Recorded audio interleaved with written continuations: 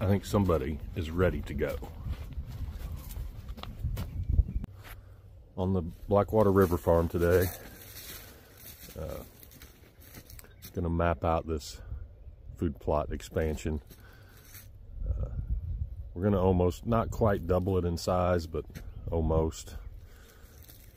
And we are gonna go that direction with it. Uh, I'm just gonna flag it off you know, that give us a outline of what it is and everything in between will uh, be cleared out. There's a few bigger trees in there that are gonna, they're just gonna have to go. Uh, so everything's been, all the paperwork has been done, all the qualifications have been met and approvals made, uh, but we're still, we're in the hurry up and wait mode. Uh, all that stuff has to, you know, pass through all the, the proper offices and stuff. You know, as we're dealing with the, uh, you know, it's a government agency essentially, and uh, everything has to go through all the offices. So we're kind of in a hurry up and wait mode on that. Uh, but everything's going to go. We just uh, uh, haven't seen the plan yet. That they, you know, they have to make the plan, and I haven't seen that yet.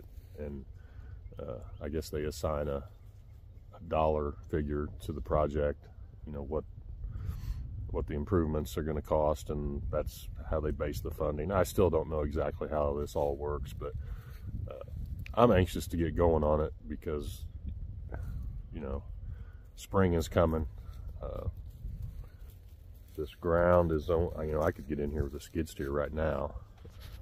It, it's a little wet, but, you know, got good conditions to get in here and work, run a chainsaw and stuff. So uh, hopefully that gets going soon.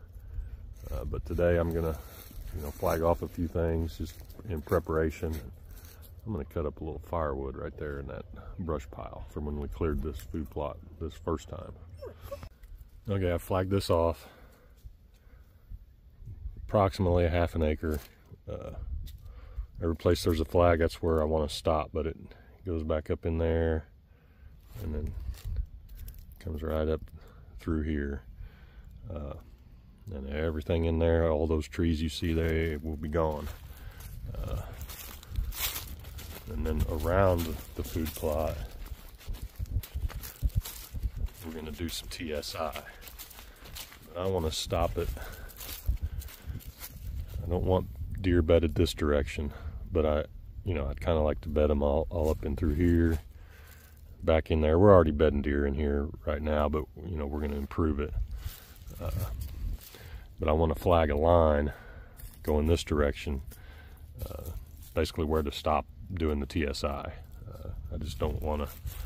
I don't want to encourage any bedding in this. It's only two to three acre area right here, but I access a lot this way. There's a stand there I like to get in to from accessing this way with the south southwest wind uh, I was able to get away with uh, getting in that with the southwest wind, and I want to want to still be able to do that. So I'm going to flag a line this way uh, to stop the TSI, and then uh, you know our work's cut out for us. We just uh, we just need the green light.